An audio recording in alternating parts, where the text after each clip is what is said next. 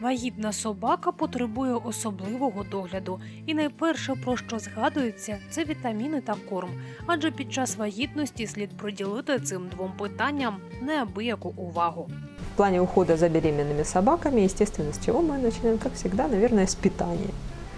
Питание должно быть в первой половине беременности, в общем-то, как правило, доза корма не изменяется, то есть остается такое же количество. Следим за балансом, то есть собака должна получать все абсолютно необходимое, то есть она должна получать сбалансированный рацион, в котором достаточно белка, достаточно жира, достаточно углеводов и достаточно всех, опять же, витаминов, минералов, микроэлементов.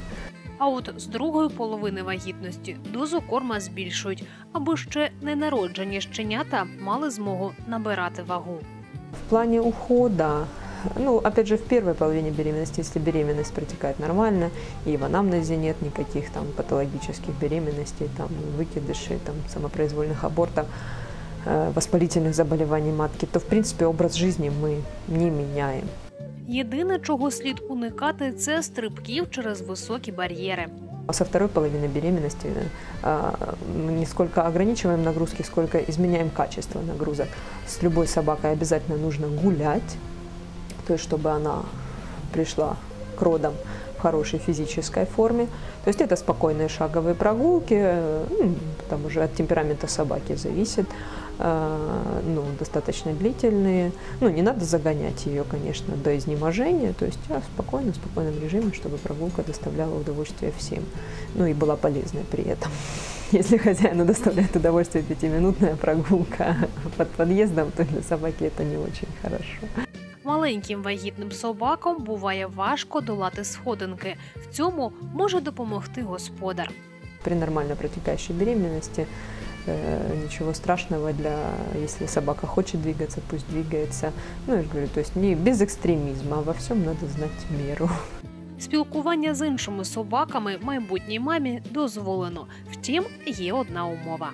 С другими собаками общаться можно на здоровье. Ну, опять же, лучше не допускать игр со слишком буйными, особенно с крупными собаками.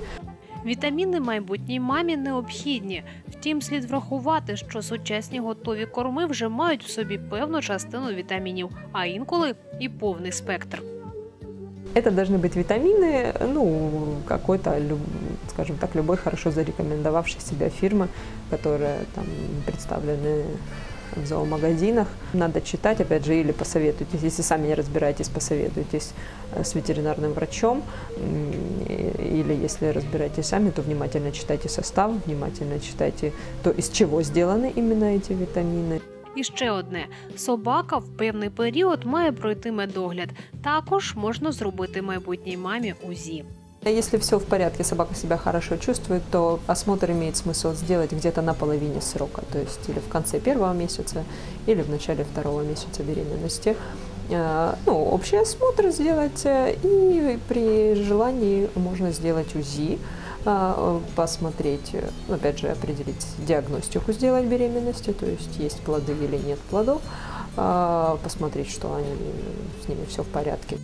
А от перед родами слід домовитися з лікарем-ветеринаром, який порадами та ділом допоможе щенятам з'явитися на світ здоровими та красивими.